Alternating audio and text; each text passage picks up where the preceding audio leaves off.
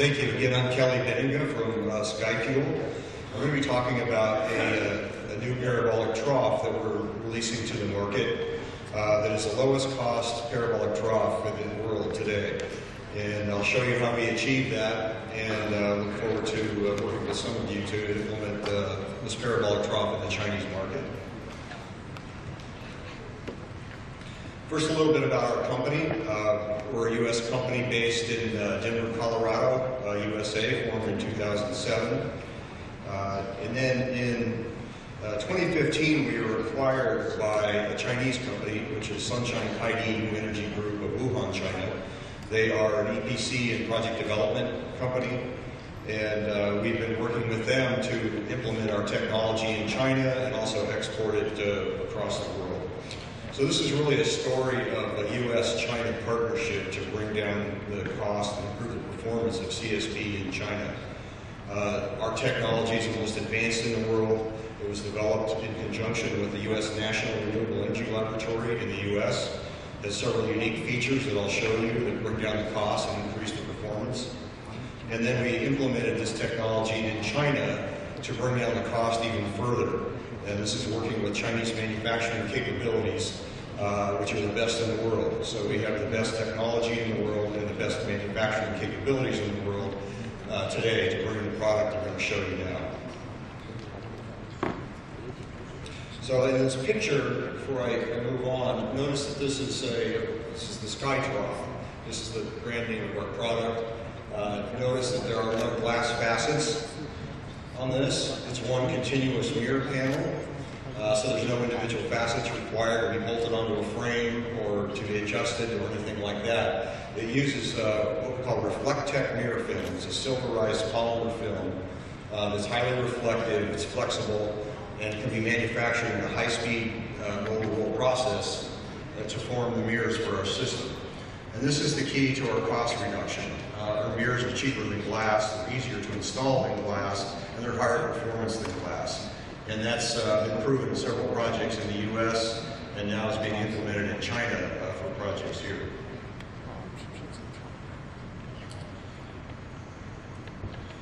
Uh, so just a little bit about our capabilities. Uh, SkyFuel can do a full range of, uh, of uh, services from solar field engineering, working with our parent company, we can provide turnkey solar power plants in China and elsewhere.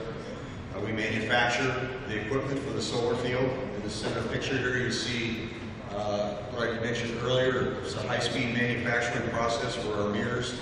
This the silverized polymer film is laminated onto a metal backing to make the mirror panels. And so each, each mirror panel does not have to be formed individually into a parabola like glass facets do. We can produce mirrors at very high speed this way, uh, and, the, and uh, therefore lower cost. Obviously, we also do construction services, so we install the solar field and maintain them as well.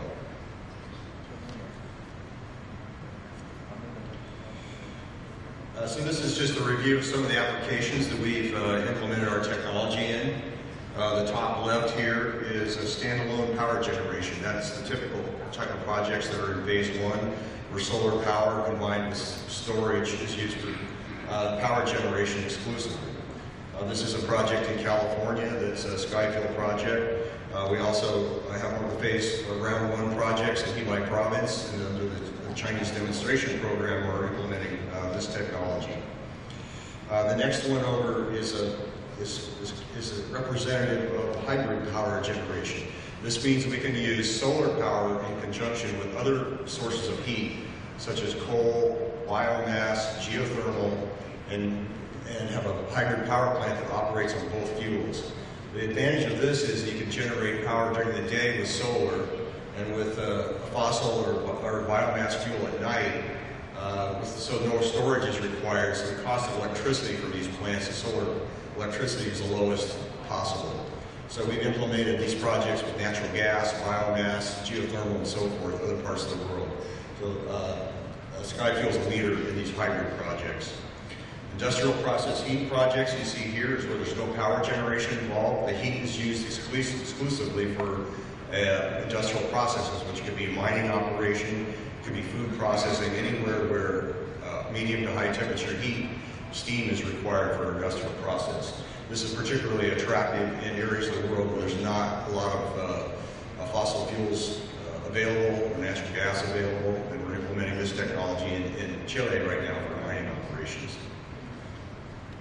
Second one over here is uh, combined heat and power, where you can you both generate electricity and thermal energy. And again, for many industrial processes, they require both electricity and thermal energy. And this is some of the most cost-effective implementations of solar power because you can use uh, both electricity and the thermal energy and waste heat in some cases for industrial processing get very high utilization of the thermal energy. And the final one there is SkyFuel is a leader in water desalination. This is actually a, a, a subset of combined heat and power or industrial process heat, where that heat is used for uh, desalination of water in a distillation system. And we have a system operating in California right now that uses that technology.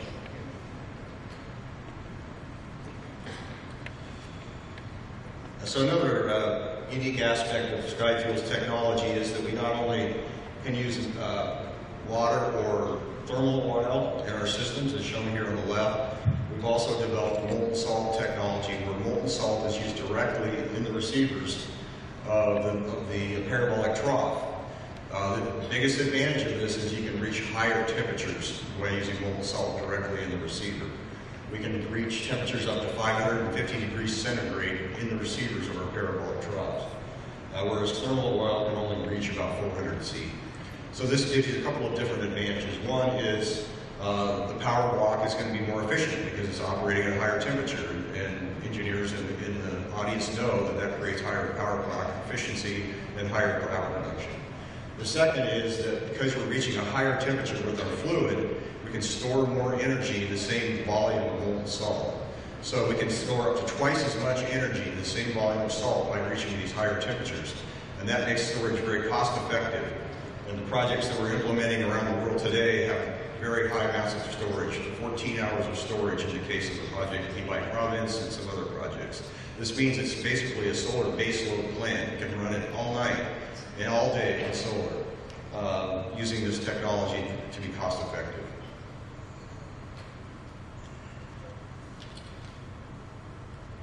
Uh, so this is uh, our original SkyTrough. It, it's uh, project that's, I mean, the, pro the product has been implemented around the world in several projects.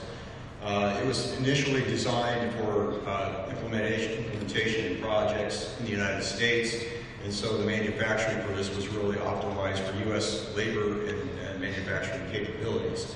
It's the highest, uh, has the highest optical efficiency of any trough in the world, 77.3 percent. It's very lightweight. Again, it uses our Reflectech mirror film panels, as you can see here, so there's no individual glass facets.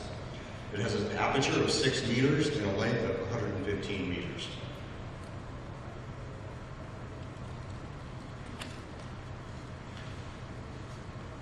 So this is the new product uh, that we're releasing to the market. It's called Reflect, excuse me, SkyTrough DSP, which stands for Dispatchable Solar Power. Uh, it's named that because it's specifically designed for use of molten salt in the receivers. It's also been scaled up in size, as you can see here. Uh, it's a 7 meter aperture, a length of 146 meters. So the area, the reflective area of this trough is much larger than our, our original trough. It maintains the high optical efficiency. And in fact, we've increased the concentration ratio, so there's more sunlight impinging on the same size receiver. So this actually uh, minimizes thermal losses from the receiver at high temperatures, and this is another reason how we, uh, why we are implementing molten salt and making it cost effective and high performance through our high concentration ratios.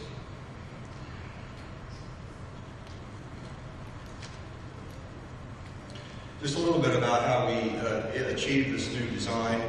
Uh, we looked at, we went back and looked at glasses versus Reflectech mirror film, again, to, to minimize costs. We looked at uh, how we can achieve higher temperatures. We looked at different receiver options, different uh, diameters as well, different lengths. The SkyTrough DSP uses a 4.5 meter long uh, receiver as opposed to the standard 4 meter because it actually allows you to build a cheaper trough, uh, fewer pylons, fewer foundations, and longer length, so again, reducing costs. Uh, the aperture width, we looked at a range of aperture widths for this, and we found that about 7, 7 to 7.5 is actually the, the optimum aperture for cost reduction for parabolic troughs. We selected 7 meters. Uh, we looked at steel versus aluminum uh, materials of construction. We found that in China, steel fabrication is extremely inexpensive. And this trough was developed specifically for the Chinese market uh, for fabrication in China. And so we are using steel fabrication for this product, uh, and for both for Chinese uh, projects, and this product, this product will be exported from China around the world for various projects. Again, this is just showing how we compared uh, the performance of different receivers in order to choose the receiver that we, we selected for this project, or for this product. It's 80 millimeter receiver, four and a half meters long, as I said before. Oops. That's that one. I talked a little bit about the cost of uh, support structure. It turns out in the U.S., uh, aluminum is actually the cheaper support structure uh, for various reasons, for fabrication in, in, uh, in uh, the U.S. But in China, steel fabrication, as I said, is much cheaper. And uh, we were able to reduce the cost of support structure almost in half by implementing a steel structure, still using, utilizing our unique space frame design, which I'll show you in a minute, as opposed to the standard like torque tube design.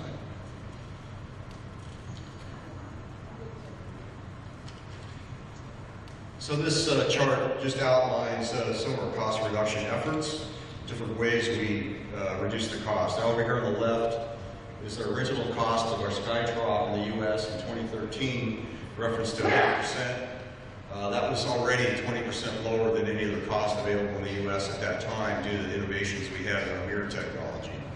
Then we looked at sourcing of components in China, uh, revising the design, design of our drive, uh, optimizing our manufacturing capability in China, uh, looking at receiver optimization to reduce costs, uh, looked at formulations, advanced formulations of our mirror film that would drive the cost down even more for fabrication in China. And then finally, the, the larger aperture design I'm showing you today drove the cost down to be about th over 30% cheaper than the American design. And so again, this is the lowest cost parabolic trough in the world.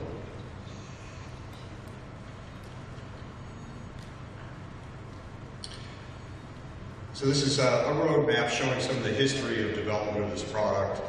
Uh, as I said earlier, it originally was developed in conjunction with the National Renewable Energy Laboratory, uh, located very close to our offices in Denver, Colorado. They're the largest renewable energy laboratory in the world.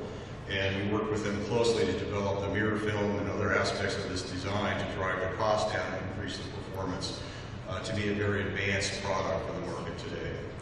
We also implemented, as I said, uh, molten salt technology to use in the receivers directly to reduce not only the, the cost of the collector, but also reduce the cost of storage, improve the efficiency of the power block compared to standard parabolic trough plants. So between the low-cost collectors, the lower cost storage, and the higher performance, the, the uh, power block, uh, the, the, net cost of electricity is substantially lower than any other parabolic trough uh, capable uh, in the world today. And so we, we can, if you have projects you want us to look at, we can show you that with what we can achieve.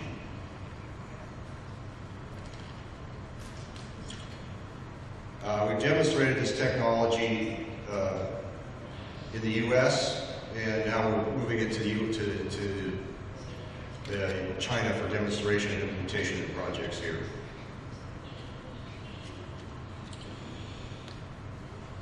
Uh, I'll hit on another couple of points here of how we, what our advantages are, differentiators, uh, comparing our technology to uh, standard technology. So again, I mentioned the different fluid using molten salt. There's actually a, another advantage is it's an inert material. It's non-toxic. So it's actually easier to get the projects permitted with molten salt. Spills on the ground, it just turns to solid and you scoop it up versus thermal or whatever, which is considered a toxic substance in a lot of areas of the world. Uh, over on the right, you can see a space frame design there. So this This is the most optimum way to carry the loads from the mirrors uh, to the pile to the pylons and into the ground is using this type of space frame technology, as opposed to what you'll see in most standard uh, uh, glass uh, steel type designs.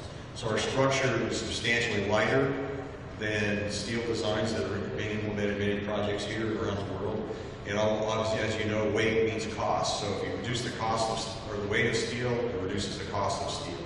And so not only are mirrors cheaper, but the space frame holding it, the support structure is cheaper as well. Uh, so we received lower, lower uh, weight of the system, higher thermal performance of the system, and lower cost through the, the implementation of these, these approaches.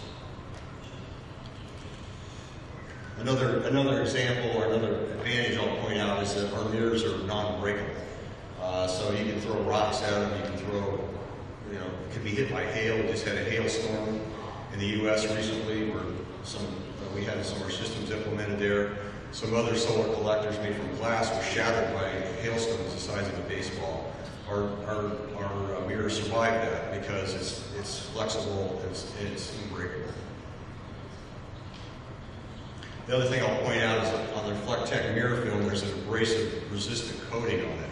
So that even sandstorms, uh, washing and so forth, it resists abrasion similar to glass.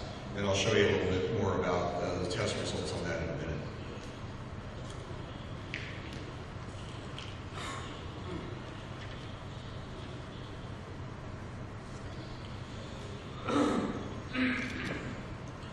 So as I said, it's a, it's a shadowproof design, very highly uh, tested. Another, another advantage of our technology is very fast to install. Uh, because the space frame type design does not require any jigs for assembly, uh, it's basically the alignment of the system comes from the geometry of the space frame itself. So you can assemble these systems with almost no tooling. All you need is some use rivets to, to put the system together, some scaffolding to reach the higher areas of the trough. Uh, so, the, so the fabrication installation facility on site is much, much cheaper. Many glass metal type designs require a jig on site to hold all the components in place as they're assembled. Then that assembled unit has to be carried out into the field. Uh, so in that facility for assembling those glass uh, steel uh, troughs can cost millions and millions of dollars. We can assemble ours with just a few hundred thousand dollars worth of tooling. Uh, as is shown there on the right, our mirrors are flexible and they slide into a track system uh, in one, one large piece into a parabolic rib that you see there. Again, this reduces the installation time and makes for one large monolithic mirror that's highly accurate and doesn't not require any, any adjustment in the field. There's no welding required for installation of the, system, and our, our installation time is 30 to 50 percent less than glass steel designs.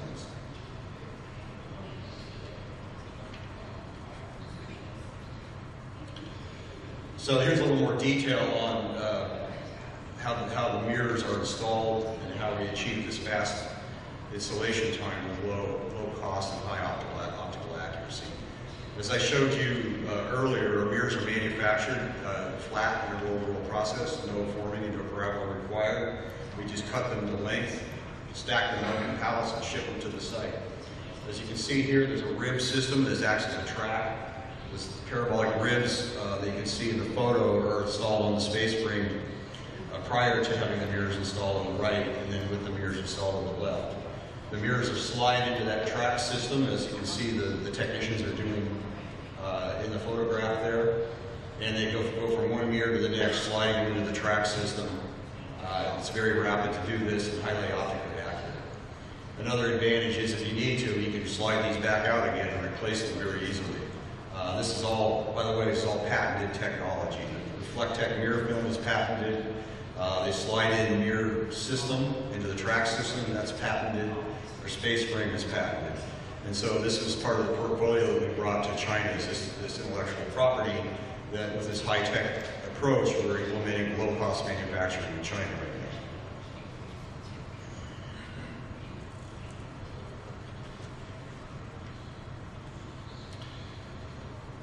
So I mentioned earlier that our, our not only is our cost very low, but our, our optical and thermal performance is quite high.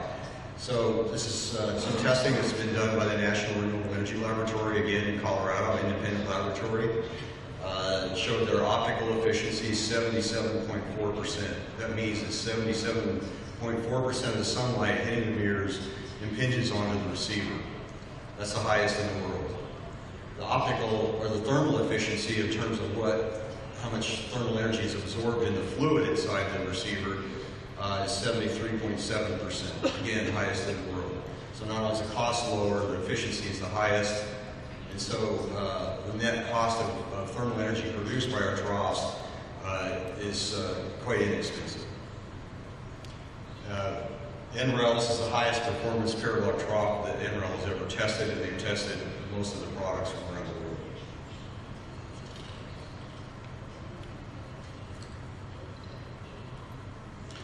So, so many of our customers uh, ask, well, that's great, at low cost, at high performance, how do we know this system's going to last uh, with this uh, type of mirror, new type of mirror?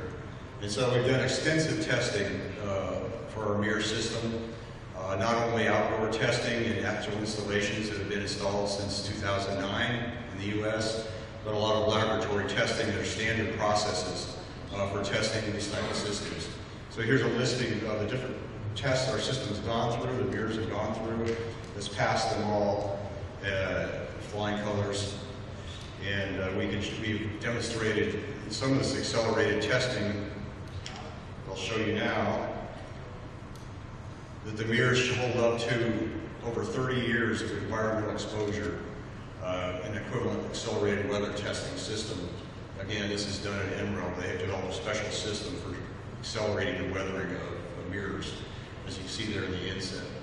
And so you can see, even at elevated temperatures, the reflectivity of the product has not changed for over 30 years. And in actual field, field installations, we've shown the same thing in about 10 years now, uh, with no degradation. So not only we have this, we also offer a warranty on this product, so that we actually warrant the reflective surface for 20 years, and so that banks and other institutions that uh, might question this new product. Doesn't matter, we warrant it, so uh, we back the product for the period, at least the period of the bank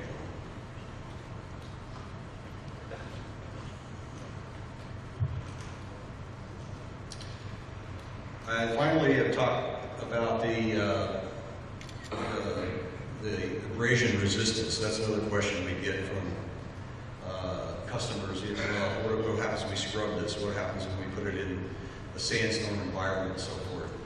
This shows a, a scrub test where uh, 50,000 cycles of scrubbing uh, with nylon brushes show that there's no degradation in reflectivity.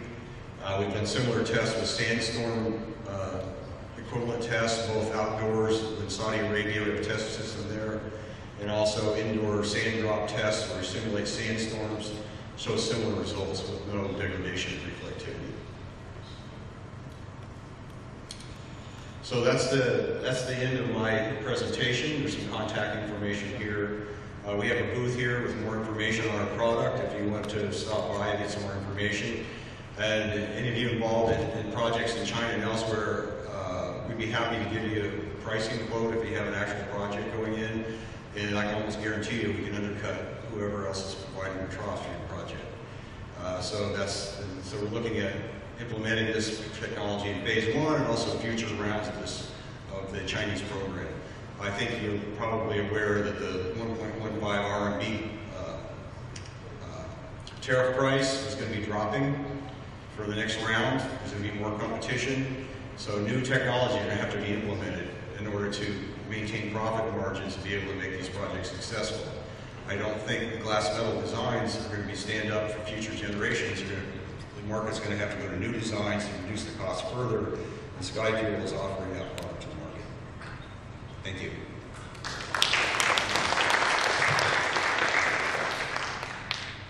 Are we, are we accepting questions? Yes. 有问题吗？大家？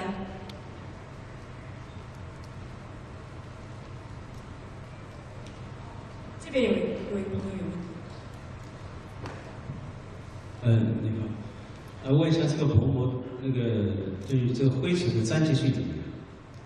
几抗灰尘的粘结，就是灰尘的会不会附着在上面？有的时候它自然会脱落。 Uh, His question is that for the foil you are using, what about the dust? How does the dust stick to to the foil? Oh, yeah, okay. Uh, a good question, and actually that's another advantage I didn't point out. Our, our mirrors are, are, are dust phobic, I guess is the word. They actually soil at a lower rate than glass, and we have some data we can show you on that. So the cleaning frequency, uh, because the surface tension is lower than it is for glass uh, mirrors, uh, it actually collects de- dust at a lower rate than glass mirrors, and therefore requires less frequent cleaning. 他说他的这个呃粘这个灰尘的这个呃还比这个玻璃要更好，呃就是粘的要更少， 而且它的这个就是占，因为它占的少，所以说它这个就是清洗的次数和频率会更低。继续问一下，就刚才提到那个是赵阳用用过这个薄膜，没听就清楚就问他有没有案例是吗？啊？对。Uh, do we have a reference for this uh, foil used in the power plant?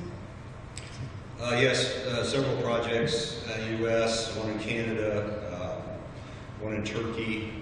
Uh, so yeah, there's, some- and uh, if anybody seriously uh, wants to consider our product, we would invite you to the U.S. We can show you an operating power plant there. We can show you the mirrors in operation. We can show you performance data. Uh, so yeah, we have reference projects we can show you. 呃，他们有呃三个项目，一个在美国、加拿大，还有就是土耳其。呃，如果呃哪位感兴趣的话，我可以去美国带你去参观他们的项目，也可以去看他们的一些检测系统。 谢谢。Thank you very much for your excellent uh, presentation.